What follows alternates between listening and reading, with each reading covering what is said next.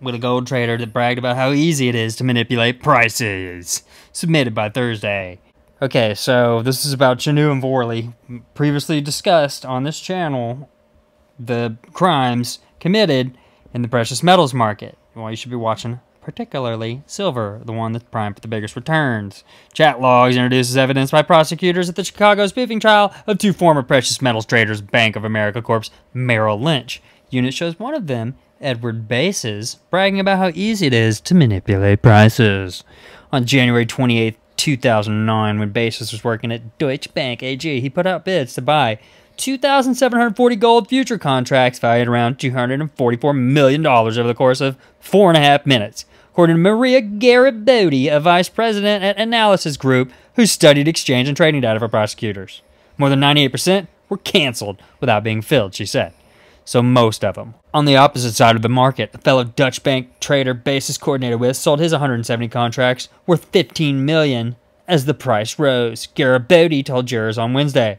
That does show you how easy it is to manipulate markets sometimes. Bases wrote minutes after the trading in a chat message sent to the Deutsche Bank trader, Cedric Chanu.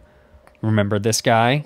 According to Garibaldi, Chanu and other Deutsche Bank trader James Vorley were sentenced last month to a year in prison and today, don't forget, each for their convictions in 2020 on spoofing charges at a separate trial. I fucked the market around a lot. Bases said in another message. Cack. Bases and fellow Lynch trader John Pacilio face federal fraud charges for allegedly spoofing the futures market from 2008 to 2014. Another episode described by Garibaldi involves trades by Bases and Pacilio on August 9, 2010, where both were working at Merrill Lynch. That day, Bases placed an iceberg order to buy 10 contracts of platinum, with 6 being filled at placement, she said. Less than 10 seconds after, Bases placed a buy order. Pacilio placed an order to sell 205 for 15.8 mil, which was almost 90% of what was visible in the exchange order book.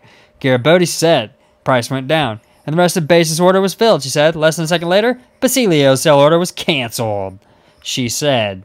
Garibaldi said employees at Analysis Group put in 3,000 hours studying data in this case over the course of several years, billing the government $1.2 million for its work. Jesus.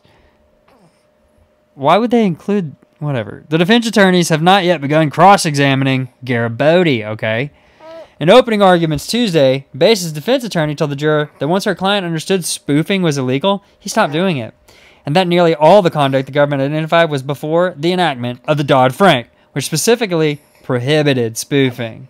I mean, they knew they were manipulating the market, but they are claiming that they did it before it was illegal. So, what's going to happen to the gold and silver market? Is this going to do anything at all?